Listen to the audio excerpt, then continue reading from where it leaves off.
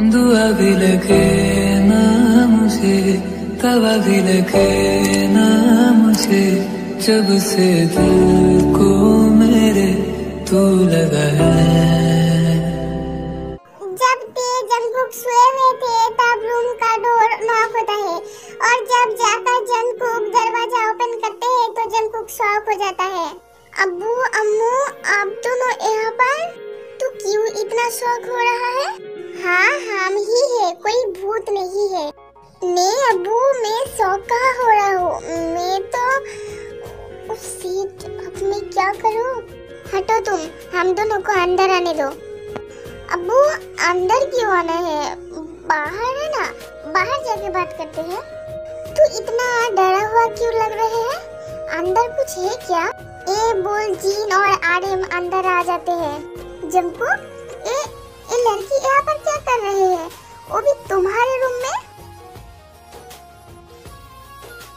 बोलो जंकुक चुप क्यों हो? उन सभी की आवाज़ सुनते उड़ जाती है।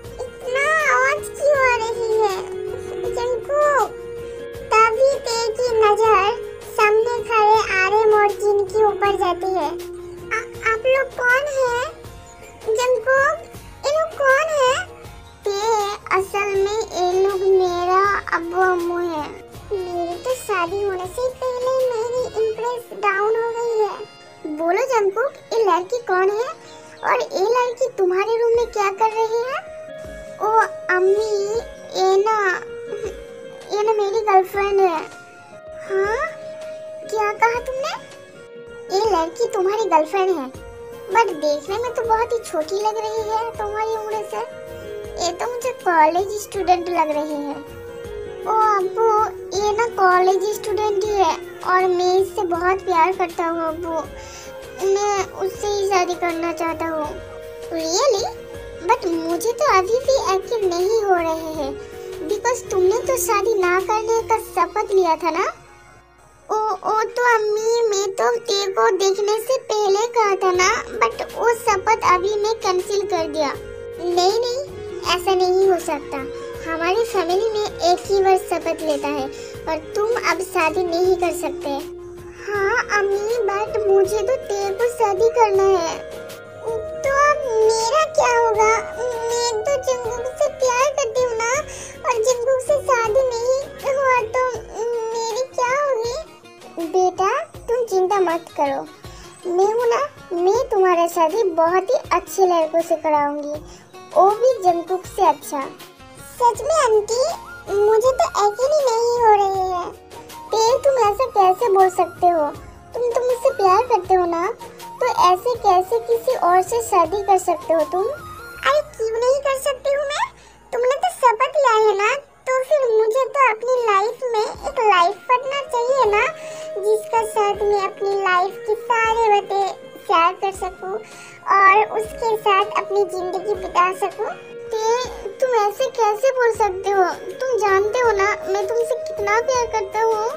मैं तुम्हारे बिना जी नहीं पाऊँगा ते। प्लीज़ ते तुम ऐसा मत करो। अम्मी, प्लीज़, तुम मेरे शादी तेज से करा दो ना। जीन, मुझे लगता है मेरा बेटा सच में एक बुद्धू है।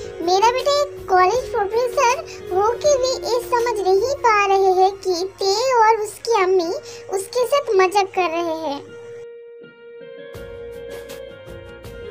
हाँ मज़ाक कर रही हूँ। मैं तो ऑलरेडी ते को जानती हूँ। जंकुक तुम इतना भी नहीं जानते हो, मैं जीवन की दोस्त हूँ। तो ऑब्वियसली मैं उसकी मॉम से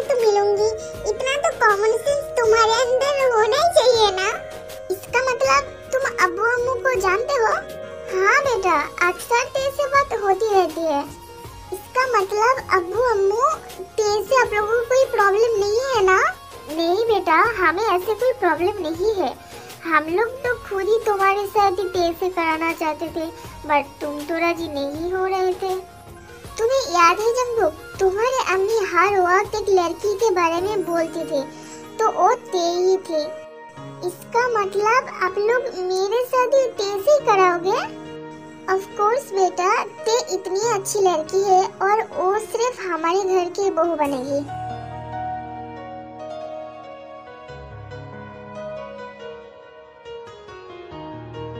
हम्म, पहले क्यों नहीं बताया कि तुम मेरे अबू अम्मू को जानते हो? हम्म, क्योंकि अगर मैं बता देती तो तुम इतना जो अबू अम्मू से रिक्वेस्ट कर रहे थे और कितनी क्यूट की तरह तुम रो रहे थे।